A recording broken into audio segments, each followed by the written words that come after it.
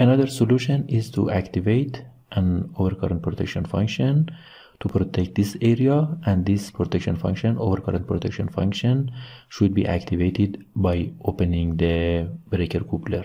So we need the breaker coupler position also in this case. Another solution which nowadays are using in the busbar differential relays stations where the power handled per circuit is very large this arrangement is very flexible and we can add circuit, additional circuit, to there will be no trip either in zone A or zone B. So then how we can protect such a fault in the system?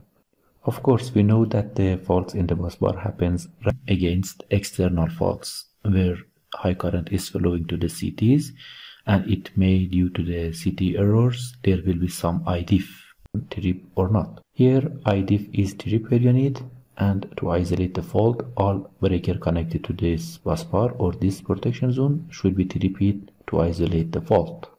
How to set the reference value in the DIGSI 4 software? It requires a circuit breaker with two isolator for each feeder bay and a bus coupler.